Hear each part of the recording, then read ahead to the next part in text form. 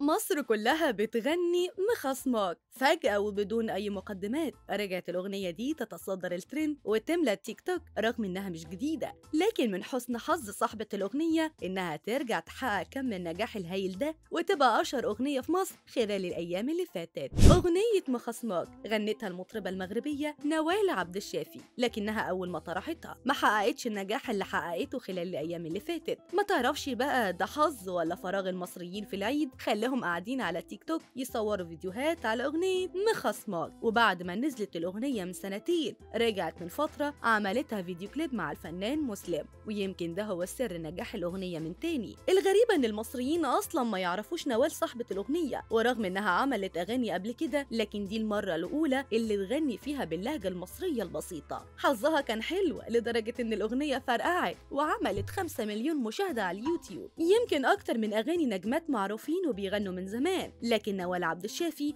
جت بأغنية واحدة سيطرت علينا وخلتنا كلنا ماشيين نغني ما خصماك زي بالظبط ما حصل مع أغنية تيجي نتجوز بالسر. اللي غنتها سارة الزكريا. ورغم إنها مطربة شعبية مشهورة في لبنان إلا إن المصريين ما عرفوهاش إلا بالأغنية دي. وبقت أشهر من النار على العلم لو فتحت التيك توك مش هتشوف غير فيديوهات للنجوم وال bloggers وهم عاملين عليها فيديوهات وكلهم شارك في الترند منهم خالد عليش واللي صور فيديو مع مراته عليها وكمان ال influencer المشهور إسلام فوزي ومراته ياسمين وكمان انتيكا ومراته. كمان اتعملت على كوميكس وفيديوهات كتير من أفلام ومسلسلات وعملت تفاعل كبير جدا على ال social media. ما نقدرش نقول اللي ده حظ ونصيب نوال صاحبة الأغنية اللي مش مصدقة إن أغنيتها رجعت تتسمع وتتشهر بالشكل ده بعد من سنتين من طرحها أصلا. نوال عبد الشافي المغربية جات لها فرصة على طبق من ذهب بعد ما كل المصريين عرفوها وبكده ضمنت قاعدة جماهيرية كبيرة جدا وخلاص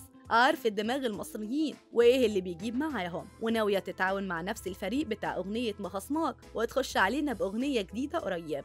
لكن بقى هل هتنجح بنفس النجاح على حس الأغنية القديمة؟ الله أعلم طيب سؤال دلوقتي مين هي نوال عبد الشافي بقى؟ دي فنانة مغربية عايشة في الإمارات وعملت أغاني كتير ومعروفة في بلدها. إحنا كمصريين مش متابعينها قوي بس هي خلاص بالنسبة لنا بقت ماركة مسجلة مع مخصمات نوال اتكلمت عن نجاح الأغنية وقالت إنها اختارت تغنيها بالمصري علشان حست إنها مختلفة وغريبة على المصريين وفيها جرأة شوية في الكلام مش زي باقي الأغاني اللي متعودين عليها. والصراحة نظرتها كانت صح وفعلا إحنا كلنا حفظنا الأغنية وماشيين نغني ونرقص عليها. في سنة 2019 عملت نوال أغنية اسمها بنتي حبيبتي. وعد الجمايل وفي 2021 عملت ثلاث أغاني. هم على كيفي وعينك وبقول للناس كلام. ومع كل الأغاني دي إلا إن الأغنية الوحيدة اللي فرقعت وشهرت نوال عبد الشافي كانت مخصمات وهي بالنسبة لها ضربة حظ وفي الجون. نجوم كتير حصل معاهم نفس الموضوع وعملوا أغاني كتير جدا. إلا إن أغنية واحدة كانت كفيلة إنها تكون سبب شهرتهم بزيادة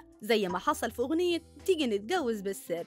وكمان أغنية سطلانة اللي غناها لأهلي بعد الفوز بكأس إفريقيا. ومن وقتها وهي متصدرة كل الاحتفالات رغم إن اللي غناها الليسي وعبد الباسط حمودة ليهم تاريخ كبير في الأغاني. لكن القدر أشاء إن أغنية سطلانة اللي اتعملت في فيلم بعد الشر في عيد الفطر اللي فات ترجع تتسمع وتتشهر بالشكل ده. وبعد نجاح أغنية مخصمات نوال عبد الشافي بدأت تستغل النجاح ده في إنها تقعد في مصر فترة علشان تجهز لأغنيتها الجديدة وكمان هتعمل حفلات في مصر وخاصة مع بدء سهرات الساحل الشمالي والحفلات اللي بتتعمل هناك. أكيد لو طلعت نوال غنت الأغنية دي كل الناس هتتلم حواليها ويتنططوا ويرقصوا ويفضلوا يغنوا نخصمك.